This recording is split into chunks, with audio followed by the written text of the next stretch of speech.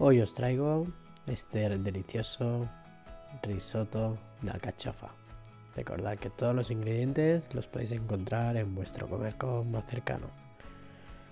En una sartén ponemos mantequilla y un poquito de chalota. Lo sofreímos bien sin que coja color y añadimos la cachofa bien picada. Cogemos un mascarpone y le añadimos hierbas recién picadas. Añadimos el arroz y lo nacaramos. Lo glaseamos con un poquito de vino rancio.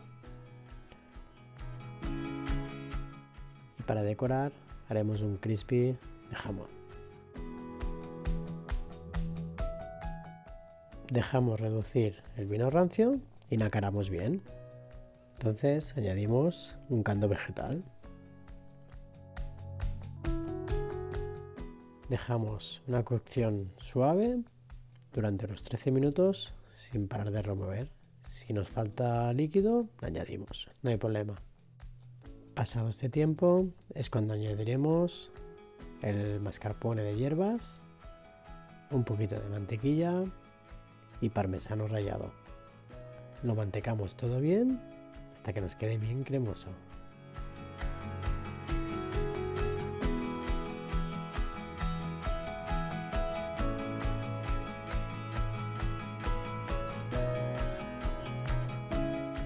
Ya solo nos quedará emplatarlo.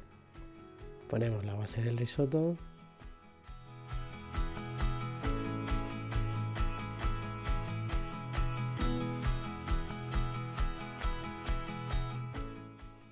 los crispies de jamón.